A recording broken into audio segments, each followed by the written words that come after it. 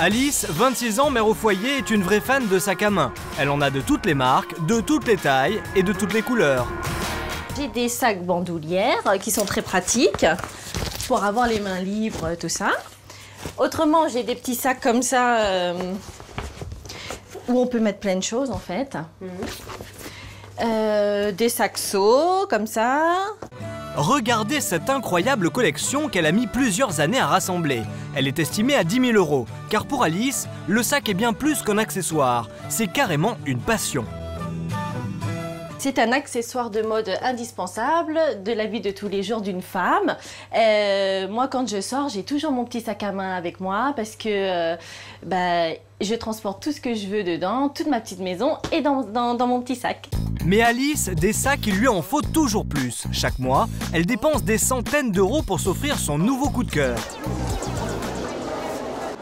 Trop beau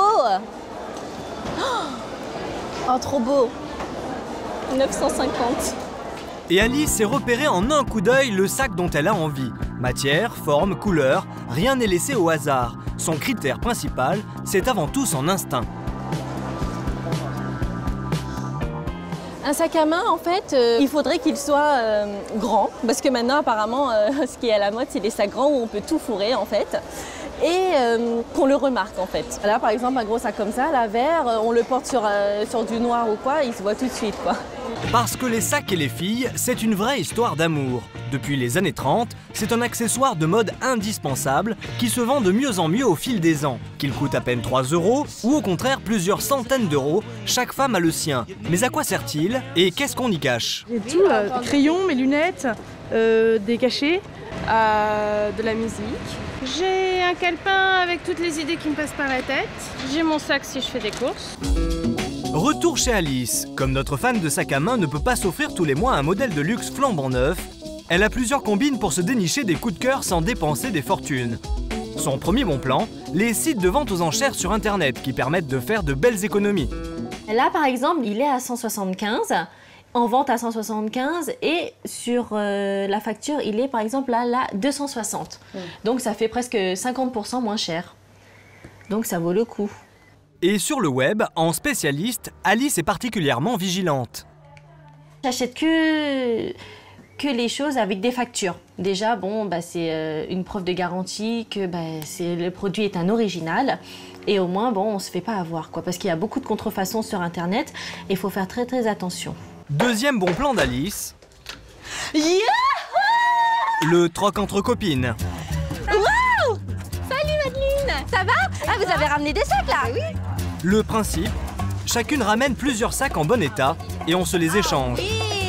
On n'est pas obligé tout le temps d'aller en boutique pour, euh, pour acheter le sac qu'il nous faut. On, on s'appelle, on se téléphone, t'as pas un petit sac comme ci ou comme ça, puis on se les prête.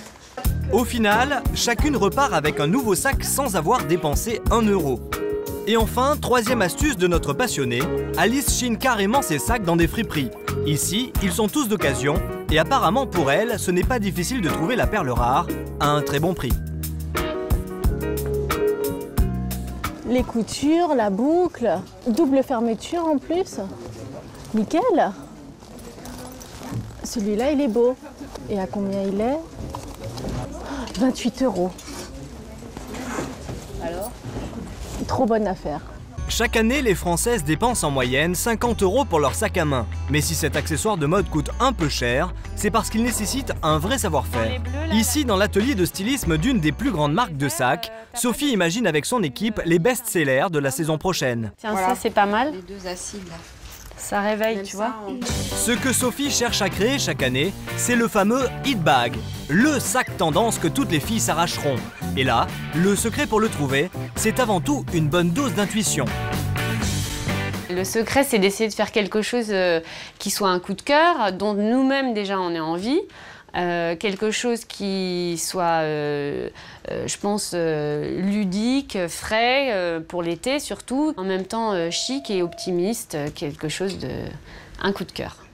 Et pour fabriquer ces sacs coup de cœur, Sophie se rend directement à l'usine à 300 km de là, où elle a rendez-vous avec Luc, son directeur industriel? Euh, ben, J'étais en train de regarder les, les échantillons là, qui viennent d'arriver. Ouais, c'est le lapin? Quand les peaux arrivent, elles sont soigneusement coupées, assemblées et cousues. ce qu'il faut surtout, c'est que la glissière elle coulisse bien, c'est-à-dire qu'on ne soit pas monté trop près de, de la maille pour que le curseur fonctionne correctement. Et si le sac est souvent un produit de luxe, c'est parce qu'il nécessite un savoir-faire exceptionnel. Il faut trois semaines pour qu'une peau devienne un sac, car ici, presque tout est fait à la main.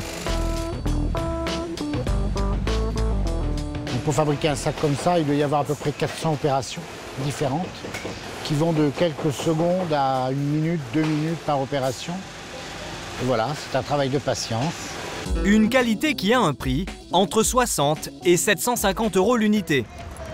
Heureusement, il est possible de trouver des modèles originaux sans se ruiner, grâce au sac créé par de jeunes stylistes comme Eve. Cette passionnée a lancé sa marque il y a à peine 3 ans. Elle crée des sacs toujours tendance et surtout accessibles, entre 25 et 80 euros pièce. Et regardez, découpe, couture et broderie, Eve réalise tout toute seule, chez elle. Pour moi, c'est une grande liberté de pouvoir travailler euh, chez moi, tranquillement, euh, avec mes horaires à moi. Si euh, je dois sortir, je peux sortir. Euh, Si euh, j'ai envie de coudre toute la journée, je couds toute la journée. C'est une grande liberté, c'est un grand luxe pour moi. Au fond, Depuis un an, c'est un business qui marche. Eve a même quelques fans parmi ses clients. j'ai souvent des clients fidèles ouais, qui reviennent, euh, qui attendent les nouvelles collections, qui m'envoient un mail. Ils me disent alors c'est quand la nouvelle collection? Et puis je les contacte quand elle sort et puis en général ils sont fidèles. Et c'est principalement sur Internet qu'Eve vend la plupart de ses créations. Elle a même créé son propre site qui lui rapporte un peu plus de 1000 euros par mois. Mais depuis peu, les sacs d'Eve sont aussi vendus dans une boutique branchée du centre de Lyon. Aujourd'hui, elle vient voir si le succès est au rendez-vous. Bonjour. Euh, c'est moi qui vous ai envoyé les sacs euh, pour le tube à essai. J'aimerais voir euh, où c'est disposé. C'est possible? Surprise, Eve ne Ah oui. s'attendait pas à ce que son sac soit si bien mis en valeur. Il est bien placé là. Et le petit plus, c'est que les clientes sont totalement sous le charme. Non, J'aime bien plus féminin, plus. Alors que la forme, euh, bah, on peut mettre beaucoup de choses en plus dedans, ce qui est assez pratique pour un sac. C'est très fille, euh, comme le rose, comme ça, j'aime bien. bien Ouais. Alors, si vous aussi vous êtes une fan de sac à main, n'hésitez pas. Quel que soit le prix, il y en aura forcément un pour vous.